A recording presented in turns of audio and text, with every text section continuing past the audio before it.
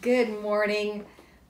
I'm excited to share with you God's provision for us. He's got many provisions, but the one I want to talk about today is angels. And I know you probably have some angel stories, and I want you to share with me through an email or responding to this uh, video because it's so exciting to know that angels are real, they're powerful.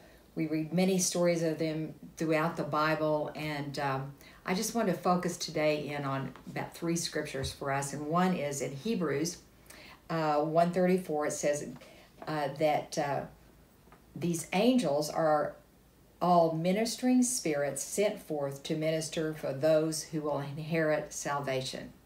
So if you're a believer, hey, you have angels because it's in God's word. And they're there sent forth to do the work to help us. So the other scripture, and that's Psalms 91, and we've already been talking about praying Psalms 91 over our lives. And if you're doing that, when that verse that says that uh, He will give angels in charge over you to defend and preserve you in all of your ways, then as you confess that out of your mouth and have faith in it, then angels are loosed to be able to uh, work in your behalf. So that's another powerful angel scripture. And the last one I wanted to give you is out of Psalms 103. Uh, it's verses 20 through 21. It says, Bless the Lord, you his angels, who excel in strength, who do his word. I think that's real important. They are there to do the word of God, heeding the voice of his word. Bless the Lord, all you his host, you ministers of his who do his pleasure.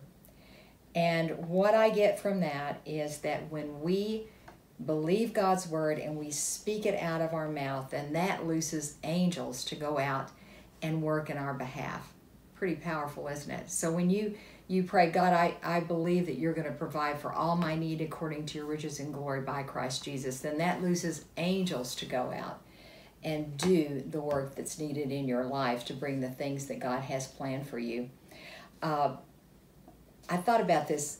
It's real important that we speak words of life. Because when we do that and you know angels have hands and arms but they also have wings and i thought this is a great example. When we are speaking the word of god the angels are ready. They're there going listen to what she just said. Look at listen to what he just spoke out of his mouth about what he believes in god's word. And there that looses them to go out and work for you. But the opposite is when we speak words of doubt and unbelief, these angels just lower their wings because they're not going to be uh, responding to those kind of words. They respond to the word of God that you speak out of your mouth. So I pray right now, Jesus, that you make the word of God real in people's lives and that they will speak it out over their situations and we thank you for the angels you've provided for us to do the work that's needed in our lives. We pray that in Jesus' name. Now, let me know your angel stories. Love you.